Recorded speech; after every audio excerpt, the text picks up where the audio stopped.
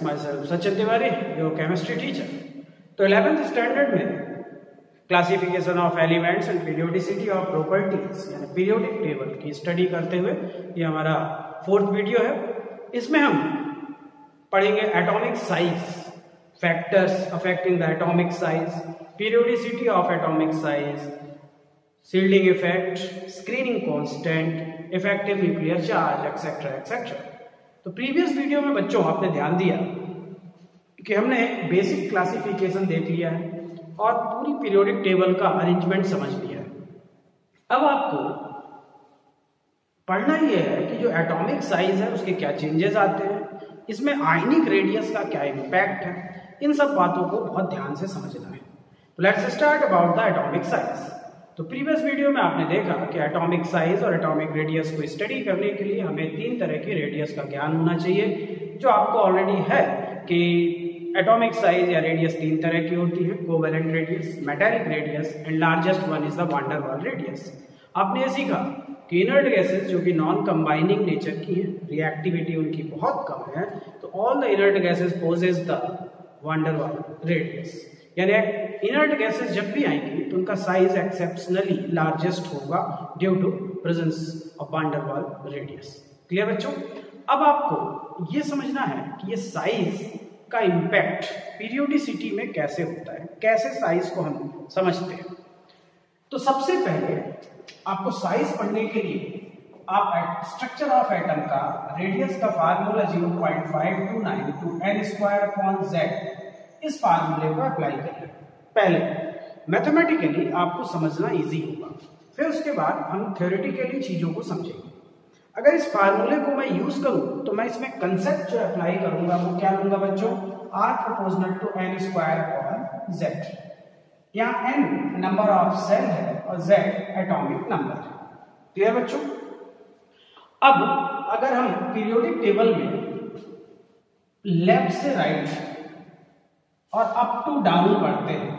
तो अगर मैं लेफ़्ट से राइट की ओर जाता हूँ और मैं बात करता हूँ लेफ़्ट सेकेंड पीरियड की थर्ड पीरियड की, किसी भी पीरियड की तो इस पूरे जितने भी एलिमेंट्स हैं सेकेंड पीरियड में, अगर मैं कहूँ तो आप जानते हैं लिथियम है बेरेलियम है बोरॉन है है ना? कार्बन है नाइट्रोजन है ऑक्सीजन है फ्लोरीन है और नियॉन है।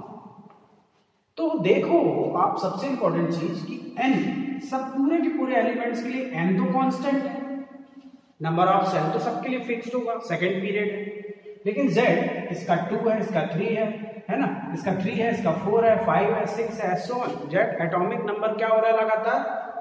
जेड लगातार बढ़ रहा है। एन कांस्टेंट है एन कांस्टेंट है but Z always increases with one unit तो बोलोगे आप according to formula R proportional to N square upon Z there is no role of N यानी बचा क्या? R inversely proportional to Z और Z लगातार बढ़ता जा रहा है, यानी रेडियस लगातार घटता जाएगा। तो ये लॉजिक आपको पहले पीरियोडिक टेबल में लेफ़्ट से राइट को फॉलो कराना है। क्या? कि as we move left to right in periodic table number of cell remain constant throughout but the atomic number increases by one unit therefore according to formula r proportional to n square upon z which is the formula of the radius or size of the atom n constant but z increases by one unit therefore radius continuously decreases ये rule बना क्या कि left से right जाने पर period में radius लगातार घटती है टेंशन फ्री लगातार घटती। है यानी अगर ये लिथियम का साइज़ है तो ये बेरेलियम का साइज़ होगा, ये बोरॉन का होगा, ये कार्बन का होगा, ये नाइट्रोजन का होगा, ये ऑक्सीजन का होगा, ये फ्लोरीन का होगा तो सबसे छोटा कौन होगा?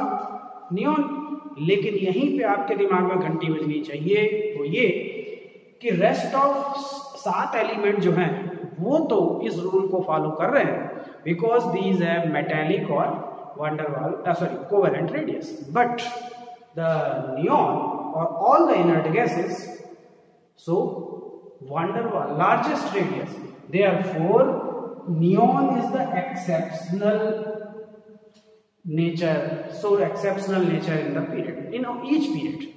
यानी रूल कह रहा है कि लेफ़्ट से राइट जाने पर लगातार साइज़ डिक्रीज होगा, घटता है, लेकिन नियॉन का साइज़ सबसे छोटा की जगह सबसे बड़ा होगा। तो इनर्ट गैसेस का साइज़ सबसे बड़ा होगा तो ऑर्डर में सबसे आगे आएगा। फिर एल्कली मेटल फिर alkaline earth metal boron family carbon family nitrogen family oxygen family halogen सबसे नन्ना मुन्ना होगा। तो सबसे छोटा size in a period halogen का होता है। सबसे बड़ा size in a period inert gas का होता है। सेकेंड रैंक में एल्कली मेटल थर्ड रैंक में alkaline earth metal fourth rank boron family फिर nitrogen, carbon family, nitrogen family, oxygen family, और सबसे छोटा आपको मालूम है कौन? हेलोजन होता है। यानी आप जब बोलोगे तो बोलोगे, ऑर्डर में बनाऊँगा तो सबसे बड़ा साइज़ मिलेगा मुझे इनर्ट गैस का, उससे छोटा मुझे एल्कली मेटल का, उससे छोटा एल्कलाइन अर्थ मेटल का, उससे छोटा मुझे साइज़ मिलेगा बोरॉन फैमिली का, उससे छोटा साइज़ होगा कार्बन फैमिली का नाइट्रोजन फैमिली का, उससे छोटा साइज़ ऑक्सीजन फैमिली का और सबसे छोटा साइज़ मुझे मिलने वाला है किसका बच्चों? हेलोजन का। तो ये आपके दिमाग में होना चाहिए कि लेफ़्ट से राइट जाने पर एस और पी ब्लॉक में अभी हम पढ़ाई कंसंट्रेट कर रहे हैं। तो ये चेंज आते हैं। क्यों ऐसा होता है? तो वो आपको मालूम होना चाहिए कि इस मैथमेटिकल इक्वेशन के हिसाब से रेडियस और size directly proportional to N है लेकिन एक पीरियड के अंदर एन नंबर ऑफ़ सेल का कोई इफ़ेक्ट नहीं होता। जब नंबर ऑफ़ सेल का इफ़ेक्ट नहीं होता तो उसको आप छोड़िए। आप फिर बोलिए कि R proportional to one by Z या R inversely proportional to Z है। Since in each period atomic number increases by one unit. Therefore, as we move left to right in period, in periodic table, atomic number increases by one unit. Therefore, size or radius decreases continuously till the halogen.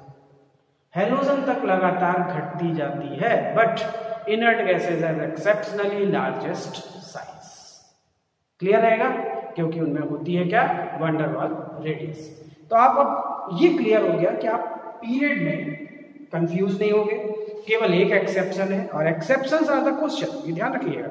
Exception पे ज़्यादा ध्यान देना है, क्योंकि वहाँ पर आपको experience और मेमोरी की ज़रूरत होती है और वो चीज़ धीरे धीरे आपको आएगी।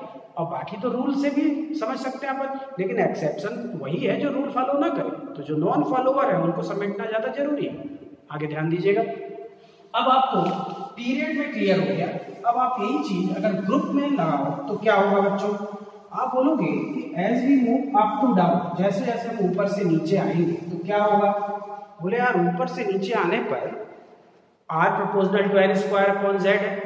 तो इस फार्मूले के हिसाब से अगर मैं ऊपर से नीचे लाइक एल्कली मेटल लिथियम का थ्री ठीक है? सोडियम का इलेवन पोटेशियम का नाइनटीन है ना? एस वन तो एन नंबर ऑफ़ सेल बोले यार, ये सेकंड पीरियड में थर्ड पीरियड में फोर्थ पीरियड में फिफ्थ सिक्स सेवेंथ पीरियड में नंबर ऑफ़ सेल बढ़ रहा है। एटॉमिक नंबर बोले तीन से इलेवन हो गया, से नाइनटीन हो गया एटॉमिक नंबर भी बढ़ रहा है। अब यहाँ पे ध्यान देना है। तो आपको ये बोलना है कि as we move up to down as we move up to down in period both number of shell and atomic number increases दोनों बढ़ रहे हैं।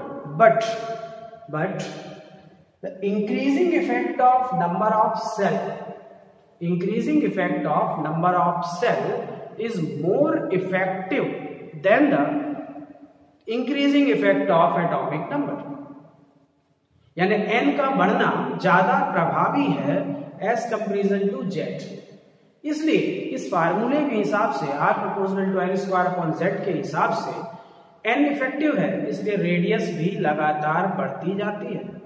लेकिन एक रेगुलर पैटर्न में नहीं बढ़ती। क्यों? क्योंकि एन और जेड दोनों का इफ़ेक्ट पड़ रहा है। रेडियस बढ़ती है, लेकिन ऑर्डर रेगुलर नहीं होता, जबकि लेफ़्ट से राइट जाने पर लगातार रेगुलर घटती है।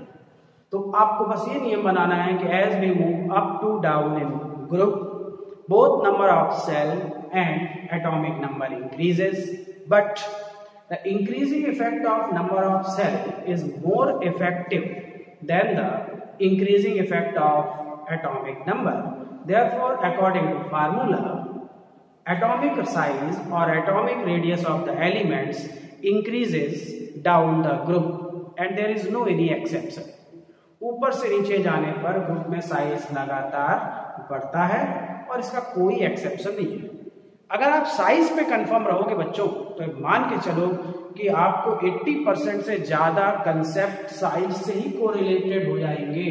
यानी मैं कुछ भी पढ़ाऊँगा, वो घूम फिर के फिर साइज़ पे ही आएगा। इसलिए आप साइज़ पे बहुत परफेक्ट रहो, क्योंकि कोई एक्सेप्शन नहीं आ रहा। सिर्फ़ लेफ़्ट टू राइट जाने पर लगातार घट रही है, और बस inert gas exceptionally largest van der Waals radius के कारण टॉप पे आ गया है, सबसे आगे, सबसे बड़ा हो गया। ऊपर से नीचे आने पर कोई चेंज नहीं है।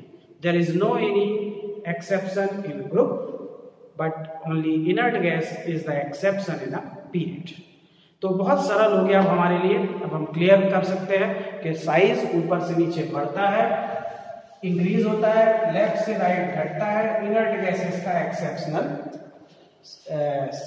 रेडियस होती है। यानी अब साइज़ की जो पीरियोडिसिटी है, उसमें हमको ये लॉजिक मालूम है r proportional to n square upon Z तो हम बोलेंगे जब लेफ़्ट से राइट हम गए तो क्या हुआ? एन कांस्टेंट रहा। जेड लगातार बढ़ता रहा एक यूनिट इसलिए आर लगातार घटता रहा।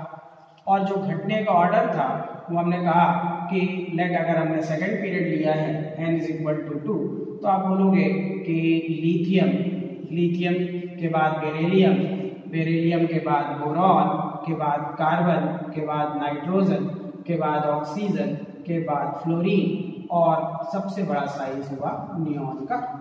सिमिलरली आप थर्ड पीरियड में जाओगे तो यही ऑर्डर मिलेगा आपको। कि आप बोलोगे?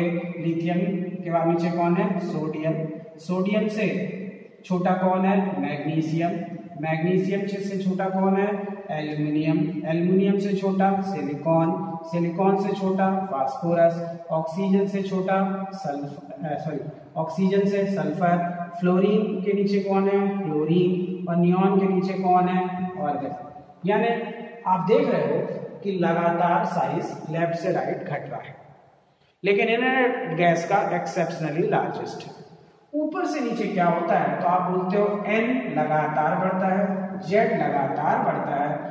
Increasing effect of number of shell is more effective therefore r लगातार बढ़ रहा है। यानी ऊपर से नीचे size continuously increases without any exception left to right size continuously decreases with a exception inert gas तो ये बच्चे आपको दिमाग में रखना है। अब अगर आपको ये बातें क्लियर है तो आप कोई भी ऑर्डर बता सकते हो कि हाँ ये ऑर्डर यहाँ पे लगेगा और इस ऑर्डर के हिसाब से हम चीज़ों को समझ पाएँगे। क्लियर बच्चों? तो ये एटॉमिक साइज़ में इतना कंसेप्ट आपको फॉलो करना है। कुछ भी करके आप इसको क्लियर रखिए। अब अगर आपको ये क्लियर है तो जैसे अगर मैं आपसे बोलूँ कि चलिए, आपको मैं रैंडमली चार छह एलिमेंट दे दूँ और मैं बोलूँ इनका साइज़ का ऑर्डर क्या आप बना सकते हो? और मैंने कहा कि बच्चों, मेरे पास potassium, fluorine fluorine, argon, aluminium, sulphur sulphur और फास्फोरस एंड ऑक्सीजन। इतने एलिमेंट्स ये कहाँ है? ये पता इतने एलिमेंट्स हैं। इनका करेक्ट ऑर्डर ऑफ़ साइज़ बनाओ। अब यहाँ पर ऐसे क्वेश्चन करने के लिए आपको दिमाग में सबसे पहले पीरियोडिक क्लासिफिकेशन होना चाहिए। इसलिए मैंने कहा कोड वगैरह बनाने से फ़ायदा नहीं होता। पीरियोडिक टेबल का पिक्चर आपके दिमाग में एकदम क्लियर होना चाहिए। तो बच्चा कहेगा कि पोटेशियम फोर्थ पीरियड में, यहाँ पर अगर पोटेशियम तो फ्लोरीन कहाँ पर है? बोले फ्लोरीन सेकेंड पीरियड में। तो ये थर्ड पीरियड है फ्लोरीन सेकेंड पीरियड में यहाँ पर है। ऑर्गन कहाँ है? Helium neon argon third period में। ठीक है? एल्यूमिनियम कहाँ है? बोले, यहाँ पर बोरॉन है, यहाँ पर एल्यूमिनियम। सल्फ़र कहाँ है? बोले, यहाँ पर ऑक्सीजन है, यहाँ पर सल्फ़र है। फास्फोरस कहाँ है? बोले, यहाँ नाइट्रोजन है, यहाँ फास्फोरस है। ऑक्सीजन कहाँ है? वो यहाँ। बोले, ये मेरे एलिमेंट्स डिस्क्राइब हो गए। अलग अलग पीरियड में और अलग अलग ग्रुप में। पहले आप पीरियड वाइज क्लियर बोले, इन दोनों में लेफ़्ट से राइट घटता है। यानी ये ऑर्डर आएगा। इन चारों में लेफ़्ट से राइट घटता है, यानी ये ऑर्डर आएगा। ये सबसे छोटा होना चाहिए, लेकिन ये एक्सेप्शन है, ये सबसे बड़ा होगा तो ऑर्गन आ गया ये अकेला है चलिए पीरियड का हो गया ग्रुप का। ऊपर से नीचे बढ़ता है, यानी सबसे ऊपर वाला, सबसे छोटा, फिर उससे बड़ा, फिर उससे बड़ा। सबसे छोटे में छोटा कौन है? फ्लोरीन यानी आप बोलोगे फ्लोरीन स्मॉलेस्ट देन ऑक्सीजन इनमें सबसे छोटा कौन? सल्फ़र, फास्फोरस, फिर एल्यूमिनियम देन आर्गन देन सबसे बड़ा कौन? पोटेशियम। ऐसे करके, यानी बहुत सारे रैंडम एलिमेंट्स आपको दे दिए जाएँ तो आप ऑर्डर बना सकते हो। दो चार एलिमेंट सेम पीरियड या सेम ग्रुप के हैं, तब तो बहुत इजीली आप ऑर्डर बना सकते हो और किसी को भी समझा सकते हो कि भाई साइज़ का ये कारण है। इस कारण से साइज़ में चेंजेस आ रहे हैं साइज़ में इंक्रीज हो रहा है या साइज़ में डिक्रीज हो रहा है। तो आप कोशिश करिए कि साइज़ में परफेक्शन लाइए, कि लेफ़्ट से राइट और अप टू डाउन में क्या चेंजेस आते हैं। और कोई एक्सेप्शन खास है नहीं, सिर्फ़ एक इनर्ट गैस है। और उतने को तो मेरे को लगता है कि आप क्लियर ही रख सकते हो कि मैं इनर्ट गैस को क्लियर रखूँगा तो मेरे को कोई दिक्कत नहीं आएगी। क्लियर बच्चों? चलिए। अब अगर आप पीरियोडिसिटी ऑफ़ साइज़ को समझ लें तो आपको इसमें क्या होता है कि जो बुक्स में के हिसाब से ये तो मैंने जो आपको समझाया है तो मैथमेटिकल कंसेप्ट कि मैथमेटिक्स की लैंग्वेज में आप कैसे समझाते हैं। लेकिन एनसीईआरटी पर में आप देखोगे, या अलग बुक्स में देखोगे तो उनमें कुछ अलग तरीके से समझाया थ्योरी में समझाया है। उससे आप ऑर्डर तो नहीं बता सकते। ऑर्डर बताना कठिन हो जाएगा। लेकिन अगर कोई आपसे पूछे कि why A is great larger than B या B is smaller than A तो फिर आप क्या होता है राइटिंग पर्पज से ये n r proportional to n square upon Z use नहीं करते। फिर आप कुछ साइंटिफिक लैंग्वेज यूज़ करते हो, और ये साइंटिफिक लैंग्वेज होती है effective nuclear charge shielding effect ये सब क्या है? इनको हमको अब ध्यान लगा के सीखना होगा कि इफ़ेक्टिव न्यूक्लियर चार्ज और सील्डिंग इफ़ेक्ट है क्या, और इसका क्या इम्पैक्ट होता है। तो इसको सीखने के लिए अब ज़रूरी ये हो जाता है कि हम कुछ बातों पे ध्यान लगाइए। बच्चों, अगर मैं आपको ये कहूँ कि एटम है ये न्यूक्लियस है, ये आउटमोस्ट सेल है, ये इलेक्ट्रॉन है अलग अलग सेल्स में इलेक्ट्रॉन। ये न्यूक्लियस है जहाँ पर प्रोटॉन है, आपको मालूम। तो इलेक्ट्रॉन और न्यूक्लियस में प्रेजेंट प्रोटॉन के बीच का अट्रैक्शन लगता है, स्वाभाविक बात है। अब इस अट्रैक्शन को क्या कहते हैं? तो आप बोलोगे, बहुत सारा है, इसको न्यूक्लियर अट्रैक्शन कहते हैं। इलेक्ट्रोस्टैटिक फोर्स कहते हैं। अच्छी बात है। अच्छा इस इलेक्ट्रॉन और इलेक्ट्रॉन में क्या होगा? बोले, दोनों नेगेटिव चार्ज दोनों में, बीच में क्या होगा? रिपल्सन होगा. अच्छा इस रिपल्सन को क्या कहेंगे?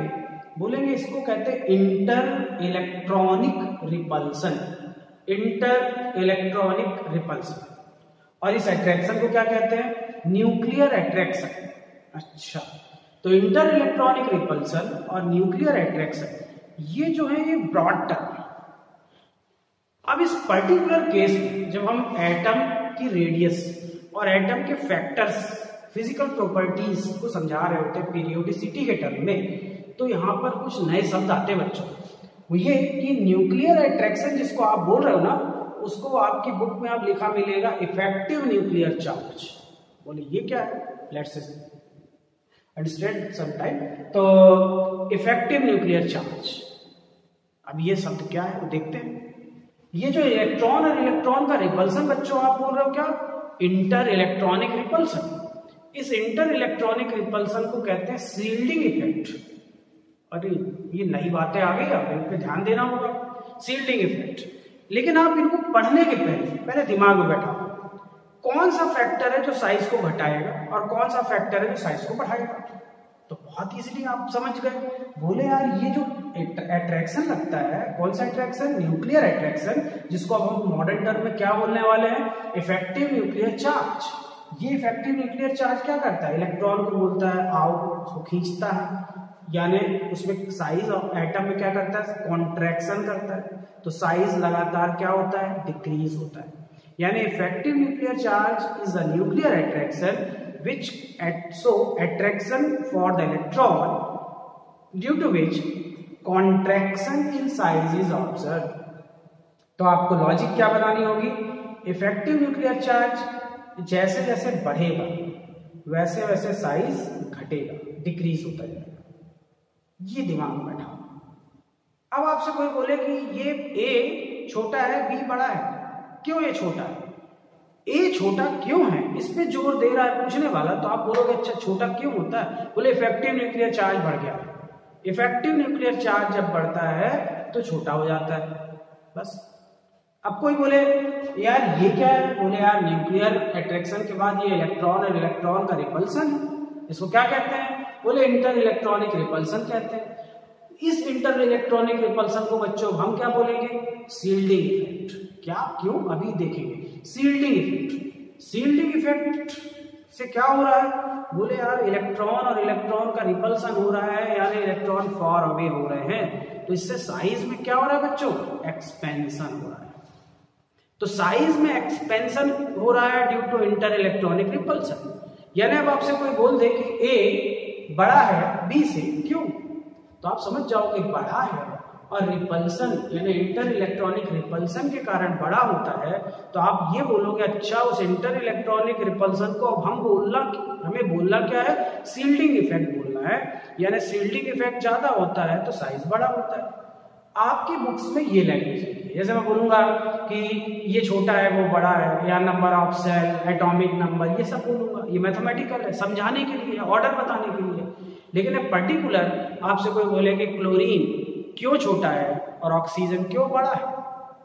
तो पर्टिकुलर एटम्स को समझाने के लिए आप टर्म्स यूज़ करोगे effective nuclear charge and shielding effect अब आपके दिमाग में ये बात बैठा है कि आप पूरी केमिस्ट्री में न्यूक्लियर एट्रैक्शन को इफ़ेक्टिव न्यूक्लियर चार्ज बोलने वाले हो और इंटर इलेक्ट्रॉनिक रिपल्सन को क्या? सील्डिंग इफ़ेक्ट बोलने वाले हो। क्लियर अब ये चीज़ें हैं क्या? कैसे पढ़ते हैं? अब उस पर हम फोकस करते हैं दिमाग लगाते हैं कि आखिर ये इफ़ेक्टिव न्यूक्लियर चार्ज और सील्डिंग इफ़ेक्ट क्या है? वैसे तो इसको मैथमेटिकली सॉल्व करें तो बहुत लंबा, चौड़ा फार्मूला बनेगा, लेकिन अभी हाल फ़िलहाल आप कोशिश करिए इस कंसेप्ट को समझने का। ध्यान दीजिए बच्चों कि ये न्यूक्लियस है और ये सेल्स है और इन सेल्स में इलेक्ट्रॉन है। क्या हो रहा है कि जब कोई नया इलेक्ट्रॉन आउटर मोस्ट सेल में इंटर करने वाला है। क्योंकि पर्टिकुलर किसी एक इलेक्ट्रॉन के लिए तो स्टडी करेंगे। तो इसका यहाँ पर देख ले एटॉमिक नंबर कितना बच्चों? जेड सोडियम उसका एटॉमिक नंबर इलेवन है। तो जब किसी एटम में कोई एक नया इलेक्ट्रॉन आउटर मोस्ट सेल में इंटर करता है तो उस समय क्या होता है? तो आपको ध्यान देना वहाँ पर आप होगा क्या? वहाँ होगा ये कि 11 प्रोटॉन है न्यूक्लियर चार्ज 11 है 11 है सोडियम का। और इलेक्ट्रॉन जो है, वो क्या करते हैं? वो ये नेचर शो करते हैं कि अगर नया इलेक्ट्रॉन आएगा तो अब इंडिविजुअल डिस्ट्रीब्यूशन क्या होगा? बढ़ जाएगा। क्योंकि जैसे जैसे इलेक्ट्रॉन बढ़ेगा वैसे वैसे distribution of charge of nucleus भी क्या होगा? बढ़ेगा। यानी पर यूनिट जो डिस्ट्रीब्यूशन वैल्यू आएगी, वो कम होती जाएगी। ये वैसी है कि अगर क्लास में दस लोग हैं और दस टॉफी हैं तो सबको एक एक आएगी। लेकिन अगर क्लास में 11 लोग हो गए तो पर हेड वैल्यू क्या होगी? कम होगी। 20 लोग हो गए तो पर हेड वैल्यू और कम होती जाएगी। या ये होता है। तो when an electron enter the outer most shell of any atom then the electrons present in the inner shell continuously repel the electron due to electrostatic force of repulsion और the inter electronic repulsion यानी जब electron nucleus के अंदर आना चाहता है तो उसी समय बाकी के इलेक्ट्रॉन जो न्यूक्लियस के चारों ओर घूम रहे हैं, वो नए इलेक्ट्रॉन को रिपेल करते हैं इंटर इलेक्ट्रॉनिक रिपल्सन लगाते हैं। इस इंटर इलेक्ट्रॉनिक रिपल्सन के कारण इलेक्ट्रॉन फॉर अवे होने की कोशिश करता है। ये जो कर रहे हैं क्या है? ये वो कर रहा है, सील्ड कर रहे हैं, रक्षा कर रहे हैं। बोले, भाई, नया इलेक्ट्रॉन हम घुसने नहीं देंगे। This effect this inter electronic repulsion is known as shielding effect clear बच्चों? तो आप सीटिंग इफ़ेक्ट को क्या समझे?